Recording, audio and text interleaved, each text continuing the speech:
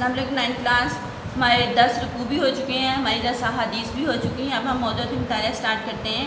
सबसे पहला हमारा है कुरान मजीद। इसमें कुरान मजीद का तारफ़ बताया गया है आपको, उसकी हिफाजत के बारे में और उसकी फजीलत के बारे में। लेक्चर नंबर हमारा ट्वेल्व है। तारफ़। अल्लाह ताला ने इंसान को पैदा किया, उसकी जिसमानी और फितरी ज़रूरियात पूरी करने के लिए मादी वसाइल पैदा किए। यानी कि उसकी फितरी ज़रूरियत क्या है? खाना पीना, रहना, रहने को अल्लाह ने घर दिया, खाने पीने को अल्लाह ने रिजक दिया और फिर अल्लाह ने उसके जहन और रूह की रहनुमाई के लिए भी अहतमाम फरमाया। खुद इंसान को खैर और शर में फ़र्क करने की सलाहियत और ज़मीर की आवाज़ अता फरमाई। यानी अल्लाह ताला ने इंसान को नेकी और बदी, खैर मतलब होती नेकी, शार, बदी फ़र्क करने के लिए सलाहियत उसको दी उसको अक्ल दी, उसको दिमाग दिया और ज़मीर उसको अता किया कि जो गलत करने पर उसको मलामत करे और वो सही रास्ते पर चले। इसके अलावा अल्लाह ताला ने इंसान की काम और रहनमाई के लिए अम्बिया कराम मबूस फरमाए। और इन पर किताबें नाजल फरमाई। हमारे नबी हज़रत मोहम्मद सल्लल्लाहु अलैहि वसल्लम अल्लाह ताला के आखिरी नबी हैं। आप पर अल्लाह ताला ने कुरान मजीद नाजल फरमाया, ये अल्लाह ताला की आखिरी किताब है। तमाम बने नए इंसान के लिए हिदायत का दायमी ज़रिया है और तमाम सबका आसमानी किताबों की तस्दीक करता है।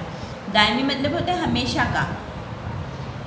क़्यामत तक कोई और नबी नहीं आएगा, ना ही कोई और अल्लाह ताला की किताब आएगी। सबके लिए कुरान पाक में रहनुमाई है। फिर है, ये सारी आसमानी किताबों की तस्दीक करता है, यानी इसके अंदर पिछली जितनी भी किताबें आई, जितने भी नबी हैं, उनके बारे में सारा कुछ बताया गया है। ये उनका भी मुहाफ़ है। अल्लाह सुबहाना तारा ने पिछली उम्मतों के लिए भी अम्बिया महबूज फरमाए थे और इनमें बाज़ पर अपनी किताबें भी नाजिल फरमाई थी, लेकिन इन अम्बिया की तालीमत और इन पर नाजिल शुदा किताबें अपनी असली हालत में महफूज नहीं रहीं।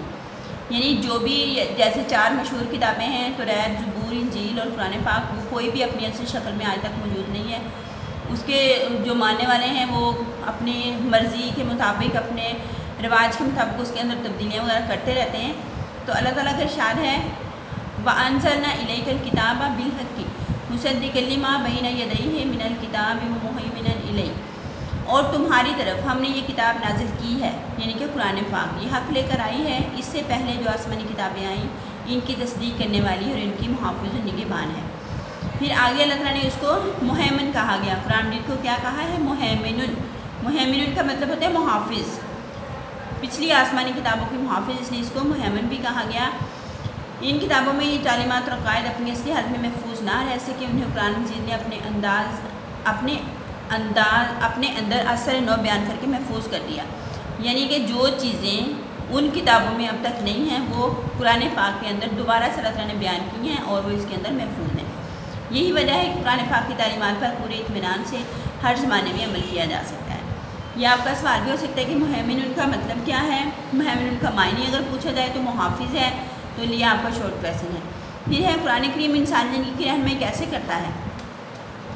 कुरान करीम इंसान ज़िंदगी के तमाम पहलुओं को मतलब रहनमई करता है। इसमें इंसान ज़िंदगी की हकीकत, खैर शर, हलाल हराम, अखलाकी तालीमत, गर्द ज़िंदगी के हर पहलू के मतलब रहनमई मौजूद है। इसमें इंसान की आखिरत की ज़िंदगी के मतलब भी तफसली मालूम हैं और इस ज़िंदगी की अहमियत को नहायत पुरतासी अंदाज में बयान किया गया है। कुरान पाक इंसान की इंफरादी ज़िंदगी, इसकी इजतमाही माशरती हकूक फ़्राइज़, इसके माशरी इकसादी अमूर के मतलब बुनियादी हदायत, सियासी और बैन अवी मामला और अखलाकी रवैयों के मतलब जाम तालीमत पेश करता है। देखें, ऊपर कोई ऐसी चीज़ नहीं जो इसके अंदर नहीं हो। इंफरादी ज़िंदगी हो, इजतमाही हो माशरती फ़्राइज़ हो, कोई भी चीज़ हो। आप उसकी मतलब रहनमाई कुरान पाक से ले सकते हैं और हमें वहाँ से ज़रूरी मालूम और हमारी रहनमाई का वो खजीना है, यानी कि उसके अंदर हर चीज़ मौजूद है। और इसमें वो तमाम बातें वजाहत से बता दी गई हैं, जिनका जाना इंसान के ज़रूरी है और जिनके जानने के, का इंसान के पास कोई दूसरा ज़रिया नहीं। तो ये कुरान मजीद का तारुफ आपने याद करना